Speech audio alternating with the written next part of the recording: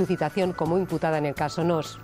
¿Qué tal? Buenas tardes. Efectivamente, el Tribunal Balear ha decidido por dos votos a favor y uno en contra estimar eh, parcialmente el recurso presentado por el fiscal anticorrupción contra su imputación.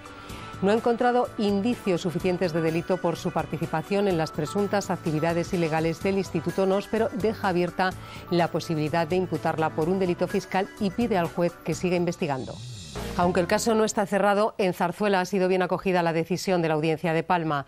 La Casa del Rey ha expresado su respeto, la infanta Elena su alegría y el abogado de doña Cristina su satisfacción. Asuntos como el caso nos ha influido a nivel interno en la imagen de la monarquía. Más allá de nuestras fronteras, estos eh, temas también han afectado a la imagen exterior de la corona y de la marca España, pero con mucha menor intensidad. De empleo y de la búsqueda de los medios más efectivos para su creación habló el príncipe de Asturias en el segundo. Y ahora unos eh, segundos para el recuerdo de uno de los grandes actores del cine español, Alfredo Landa, fallecido este jueves a los 80.